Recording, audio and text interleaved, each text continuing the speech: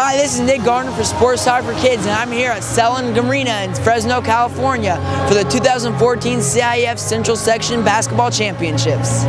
Honestly, the highlight of this championship was the halftime show put on by the Barrier Breakers performing team. Break the Barriers is a nonprofit organization founded in 1983 by Steve and Deby Hergenrader. The goal of the program is to include all people of all abilities. The team travels around the world to show that inclusion does work. Check them out.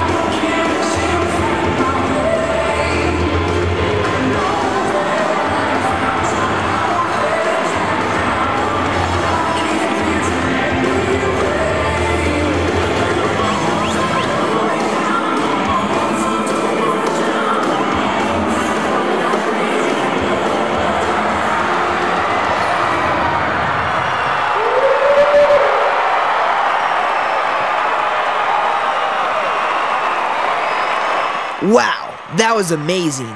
BTB is based in Fresno and has over 3,000 students of all abilities in gymnastics, dance, tennis, taekwondo, and swimming, and has given hope to thousands around the world.